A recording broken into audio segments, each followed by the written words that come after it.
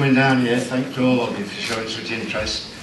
Also, a special thanks to uh, Leicester Football Club for letting us use their facilities today. The reason we're here today is to tell you what Rendall's got planned for the future. And who'd have thought it was nine years ago when he first turned professional that we'd be doing something like this today. I'm sure a lot of you guessed what we're going to say, but just like to say Rendall's next contest is going to be on the 12th of Never. Rendall has officially retired. You've seen him in the ring for the last time.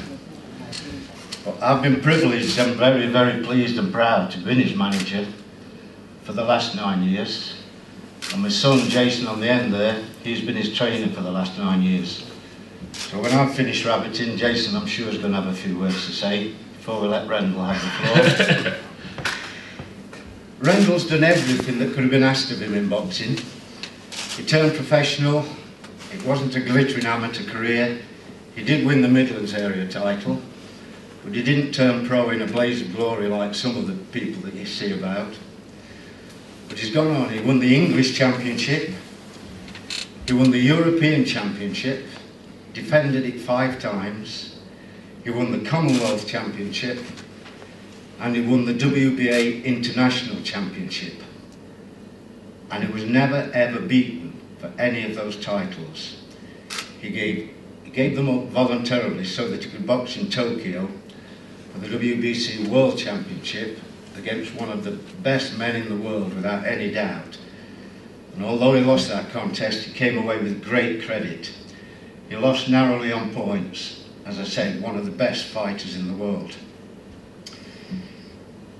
As I say, Rendall's early on in his career, he stepped up a weight division to fight for the British title. Again, he lost a very close decision, but it set him on the path for what he's done since. And after that contest, he went for four and a half years until he went to Japan before he lost another contest. So I'm both pleased, proud, sad, whatever it is, to tell you that Rendall ain't going to be boxing again. But I'd just like to say, Rendall, thanks for what you've done for me. I'm pleased for you. Awesome. My son Jason, who's trained Randall. I'd just like to say that it's been an absolute privilege to work with him. In nine years, I don't think I don't think we've ever had a crossword, have we? No. ever, never, ever, ever. I feel, you know, everything he's achieved. It's been fantastic. What he's done from where he's come from to where he is today is unbelievable. And anybody out there, any, any kids out there, should be looking at Randall as well. Anybody, not just kids, should be looking at Randall as a great inspiration and what you can do if you if you work, if you work and work and work and, and you've got a dream and you you believe in that dream and you want to follow it, you've got to put everything into it. And if you give anything 100%, that's where you can, that's where you can get. Yeah, he didn't win a world title, but he put he put one of pound for pound the world's best fighters, and he went to Japan. And like like we said, he, performed with great credit, and maybe maybe you know the road could have been a little different, and he could have won a world title, but he wouldn't have fought one of the pound for pound best. And at the end of the day, if you want to be world champion, you've got to beat the best. You don't want it giving you. And every every every step of his way in his career, he's fought he's fought good fighters. And I always remember him when he came to the gym. His uncle Sticky Pratt, who brought him to us, who brought him to us in the first place. He said, "I've got I've got this kid. He's all right. He's strong. He's tough. He's all right." But I tell you what, when he came, he had his first fight.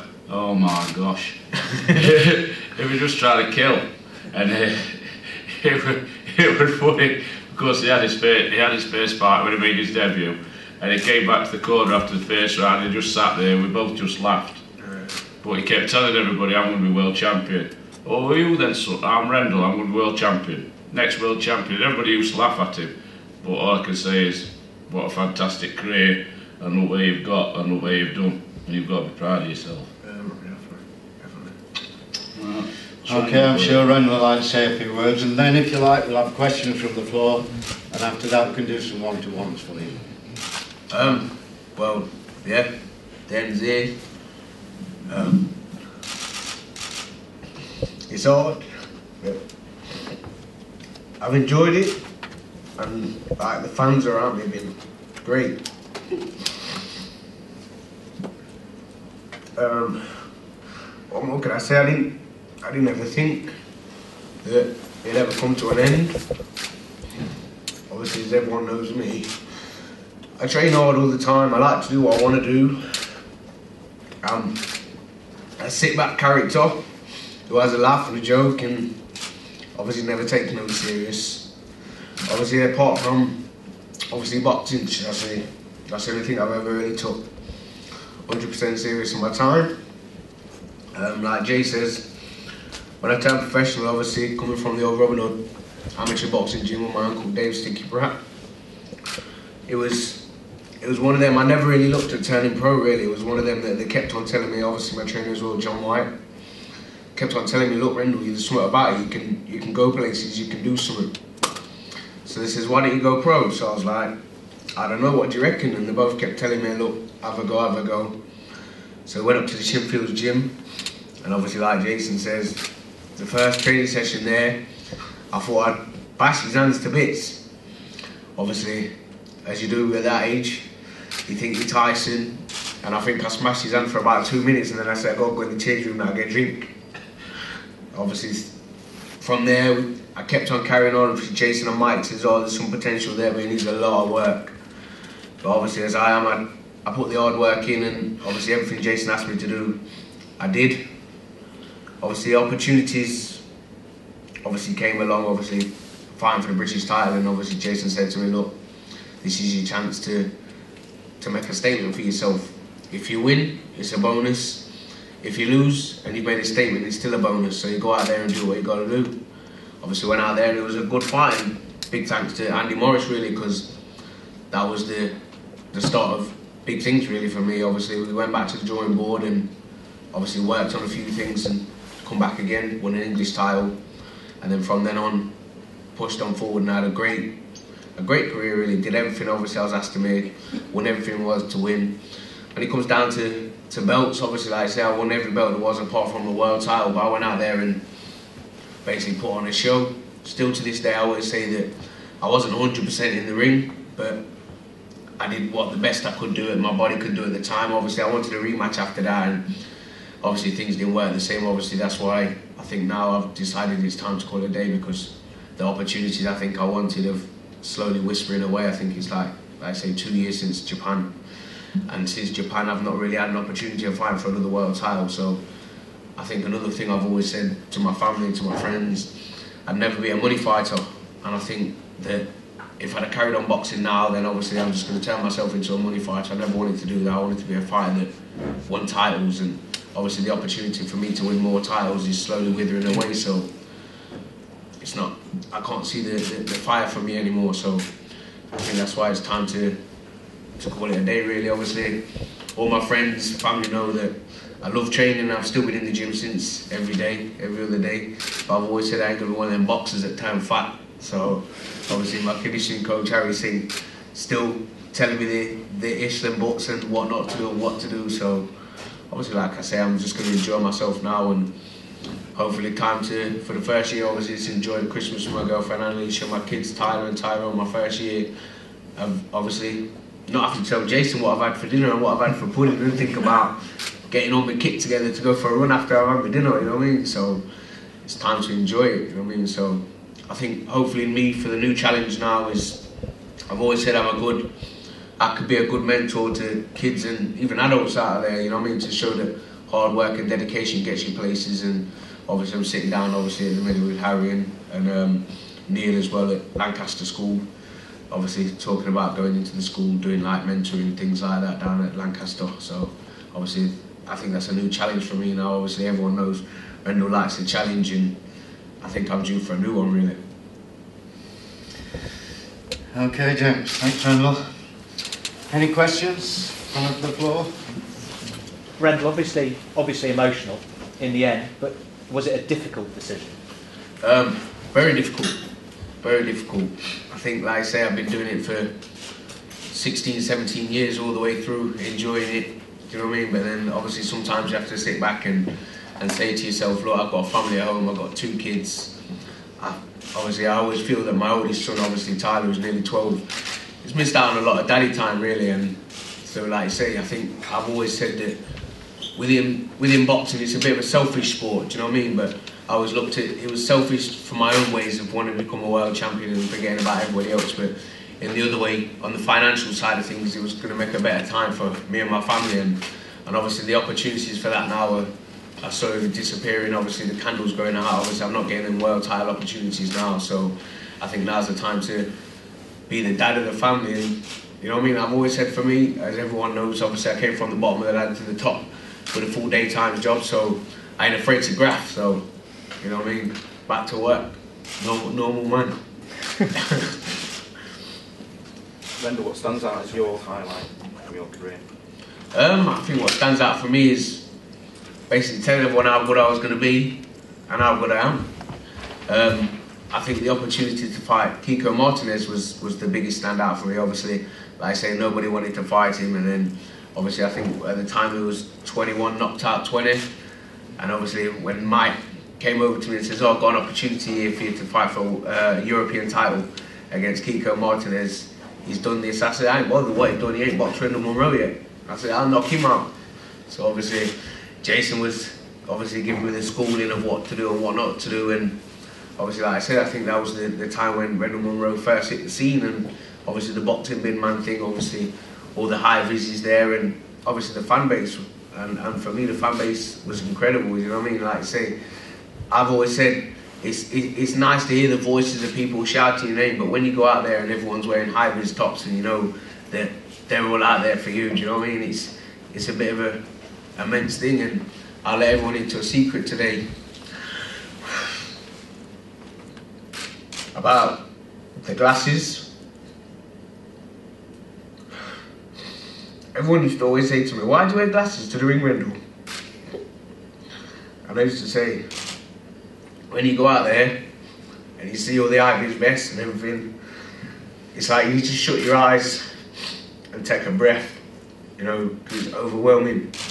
And I say, if you're meant to be going in the ring as an odd man, as someone to go out there and do what you're doing, everyone will be looking at you and say, what's he closing his eyes for? So I used to wear the glasses because when you used to come out and you used to feel overwhelmed, you used to shut your eyes and think, it's business time, Rendall, it's time to go.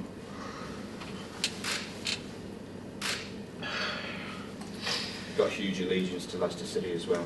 I assume that's why you've chosen the, the King Power. Oh, yeah. This. incredible. Obviously, Leicester City Football Club have been looking after me for a while. Obviously, like I say, I get the opportunity to train with the lads when I want.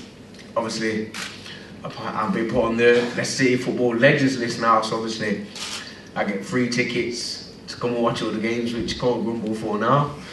And um, Mr. Alan Birch, big big man for me. I always say when there's always someone to look up to and always say someone to say a big thanks to. I think is the man for me really. I think everything down here obviously has gone through him. You know what I mean? Sometimes when I used to say, oh, I feel like going to watch the football today, I used to give him a little text. And any tickets for me, Birch? He just text me back and say, no, always Rendall, they're on the, they're on the stand for you, go and collect them, son. So, you know what I mean? A big thanks to him as well, really. But not even just Leicester fans in general, I think fans all over the place, you know what I mean? I always remember when I was boxing Mel Jotto for the European title and I got some guys like sending me Facebook messages saying we're coming from the Isle of Man, you know what I mean, to come and watch it and, and, and other blokes saying, oh, we booked special flights from Spain to come over and watch it, you know what I mean? So the fan base for me has been incredible really and I think that's what that's what's kept me going as well, you know what I mean? The full support really from everyone. Is that it then, gents? Okay, Ren will do some one-to-ones if you want I, to. um, can I ask you a question, Mike? Certainly. Um, to the standard what Rendall is, you know, how comes um, he pick up everything, but in fact they find it so hard to give him a return world title fight, or to give him a world title fight? Why is it? Because there's a lot of politics in boxing, Alan. And if you got somebody as good as Randall, and you were the champion, would you pick Randall or the easier fella? You'd pick the easier fella. And while ever they can keep picking easy ones, then somebody who's boxed Nishioka. Don't forget, Nishioka, I think it was his previous five defences prior to Rendall, he'd knocked them all out. First four rounds, it looked as though Rendall was going to stop him. But give him credit, he was good enough, he changed his game plan altogether, and he did win the fight. But Rendall came away with that great credit. Immediately afterwards, I asked them, his promoter, his manager, what about giving us a return back in England? They just laughed. Absolutely no chance would they get back in with Randall. Since then he's gone on, I think he had another two, two or three, and he stopped them as well. So it's a silly thing to say Randall's too good for his own good. He's got to that level, getting the next breakthrough, people won't have it because it's too dangerous. The reason why I asked the question, I understand that and I knew that, but the public doesn't know that. so now the, that's right. the public will get the answer. Yeah, it? Boxing's not like football where you've got a fixture list, United have to play the lesser teams and whatever. Boxing, there's a lot of politics in boxing. And while ever a champion can pick easy defences, that's what he's going to do. It's unfortunate, but I'm afraid Also that's the another thing I need. I need to push across as well because um Leicester um Rendall is a Leicester born, Leicester uh, Leicester grow and everything. Now you never have a fight in Leicester because Leicester take down all the sports players and have nowhere so you have to go all different places to That's- build up other other right. cities instead of build up his own city. Yeah. There's nowhere in Leicester to put on a show. Which in At the, end of, Leicester at the end of the day, though, he might he might never have won a world title belt, but he knows very well, and everybody knows very well, he was a world champion in his own right. yeah, we understand that. Whether he had a belt or not, Si- simple. Like I say, big thanks to everyone for coming today and big thanks for the support of everyone as well, you know what I mean? It's been an incredible journey and I think I'm about to start a new a new fight at home with the missus and kids. That, that's just reminding me, there's two people. Jason and I have been 100% behind Rendall and supported him from the professional side of things. But there's a couple of people, Leisha, his partner, and his dad, Alan. Without them, I don't think Rendall could have done what he's done. Oh, so a big thanks to you two. Thank you. Okay, gents. Thank you very much once again for coming.